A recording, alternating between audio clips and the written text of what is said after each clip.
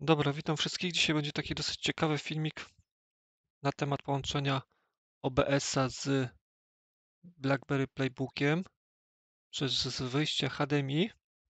Żeby to zrobić, to trzeba podłączyć pod OBS-a taki HDMI grabber. Kupiłem na AliExpressie kiedyś za 200 zł. Jak były te promocje takie. I to jest model 266. I on obsługuje nagrywanie w 1080p 60 klatkach. Natomiast pass-through maksymalny jaki może pójść przez to to jest 4K w 30 fipsach. Czyli mógłbym podpiąć na przykład PS4 czy tam Xboxa One X, puścić rozdzielczość 4K w 30 fipsach. On by mi to pokazywał, ale nagrywał by maksymalnie gry w 1080p w 60 fipsach. To jest takie pudełeczko, jak niektórzy to mówią, mydelniczka, leciutkie. I pod to mam podpięte właśnie tego BlackBerry Playbooka, który on z tyłu ma kamerkę. To jest chyba 5 megapikseli. Już nie pamiętam, ale chyba 5 megapikseli. Maksymalna rozdzielczość, jaką nagrywa ten tablet, to jest 1080p, bodajże chyba w 30 fipsach, nie w 60. I zobaczymy, jak on sobie poradzi w roli takiego urządzenia do na przykład streamowania w OBS-ie.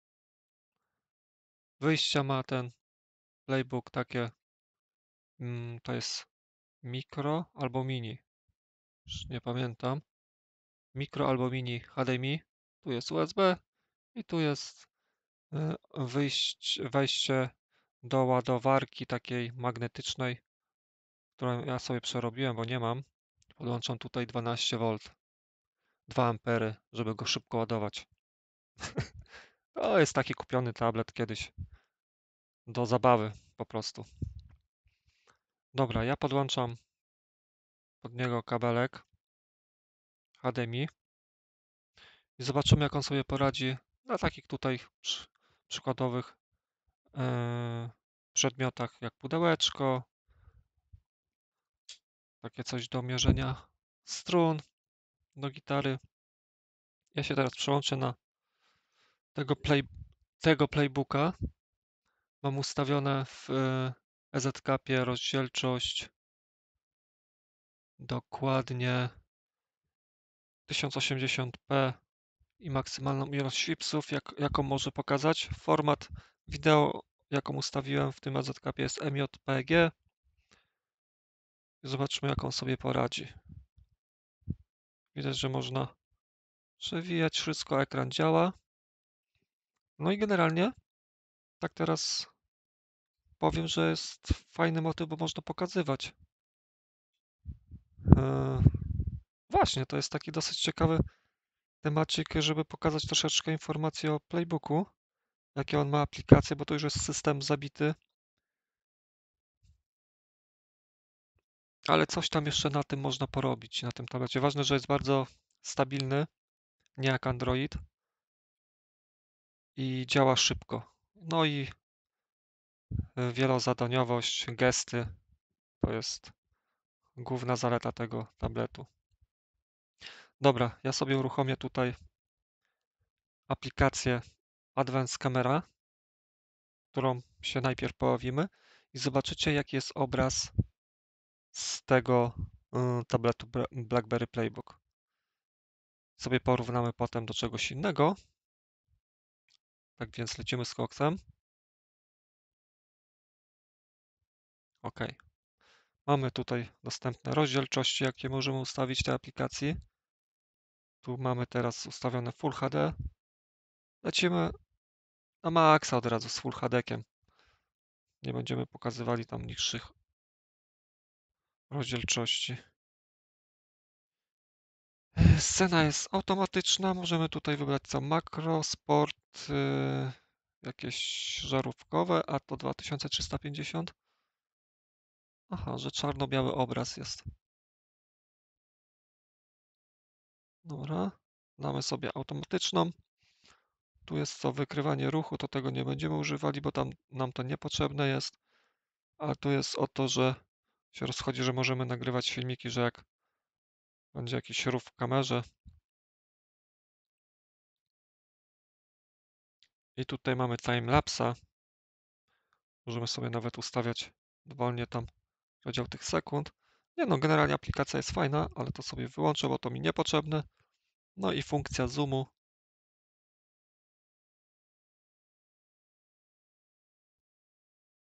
Przełączanie kamer po prawej stronie.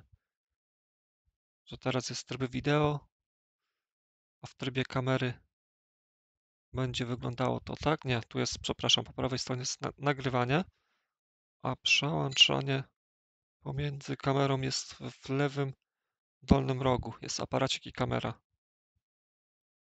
Teraz jak nacisnę to, to mamy tryb kamery do robienia zdjęć i mamy rozdzielczości, jakie są obsługiwane. Stabilizacja włączona, wyłączona. 640 zobaczymy. Będzie pikseloza podejrzewam.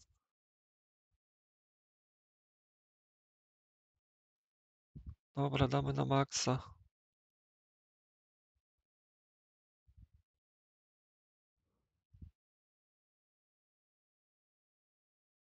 Autofokus praktycznie w tym tablecie nie występuje. On chyba nawet nie ma autofokusa, tu jest ten EDF chyba. Obiektyw EDF. Co tutaj jest? Aha, że zdjęcia robi tak i tak jest. Scena jest automatyczna, tak samo. Tu jest timer jeszcze, możemy sobie włączyć do robienia z 6 sekund. Zobaczymy jak działa ten timer przy okazji.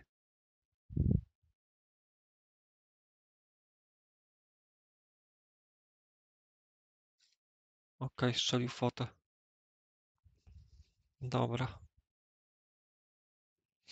Coś mi się tutaj nagrywa, nagrywa.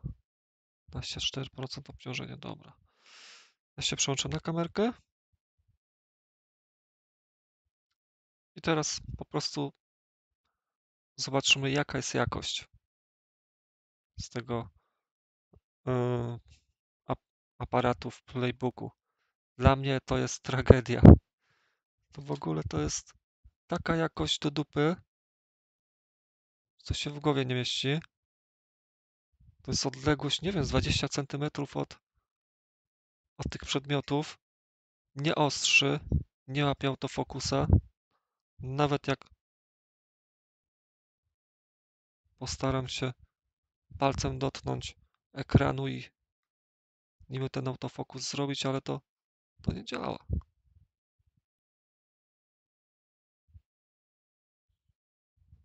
To jest tylko dobre, moim zdaniem, żeby użyć tego timelapsa, gdzieś coś pokręcić jakąś przyrodę, ale do streamów do OBS-a to jest beznadzieja. Oświetlenie jest genialne, także tutaj nie ma mowy, mowy o tym, żeby coś było nie tak. I patrzcie, jak jest w ogóle nie, niewyraźnie ten, e, ten obraz.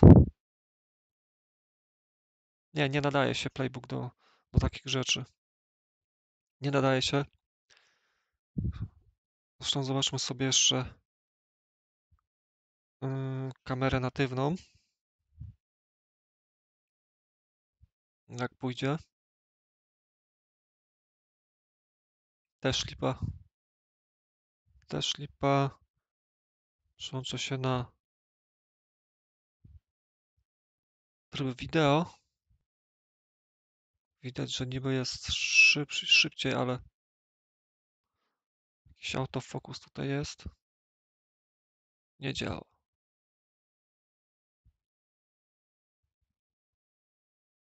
Strasznie to wygląda. Jakieś opcje. 1080p. automatyczny 720p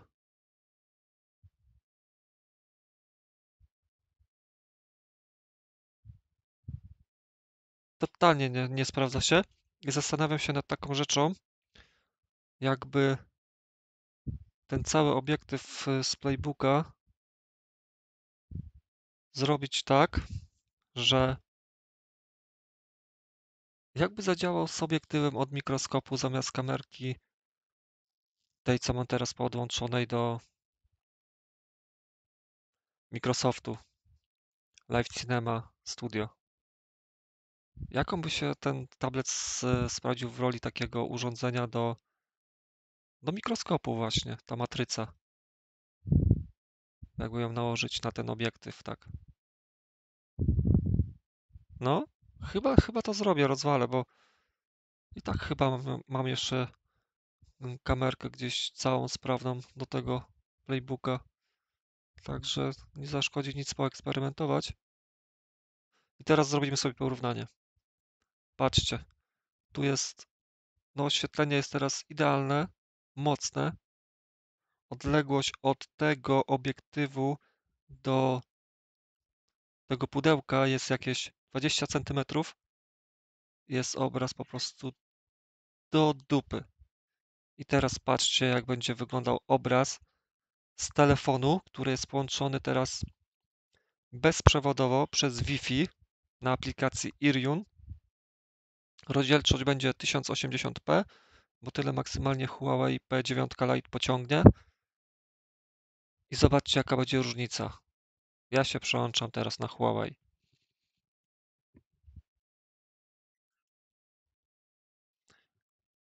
Telefon mam na górze zamocowany. Ściągam go i zobaczymy sobie zbliżenie.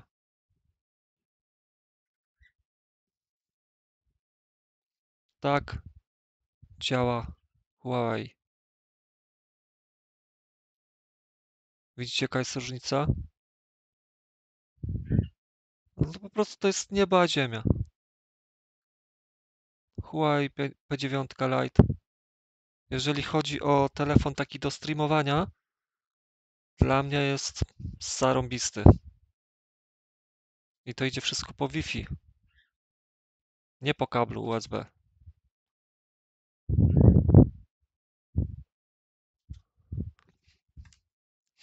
Sobie weźmiemy jeszcze tablecika.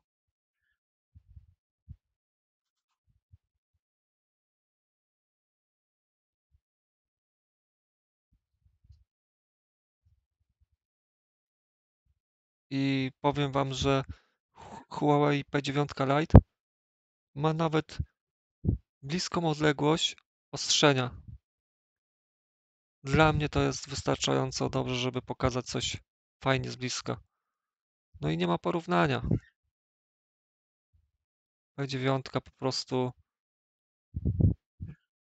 zgniata playbooka, jeżeli chodzi o kamerkę.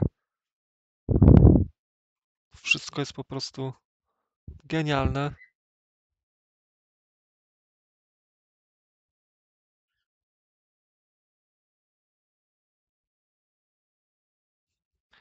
I to by było na tyle.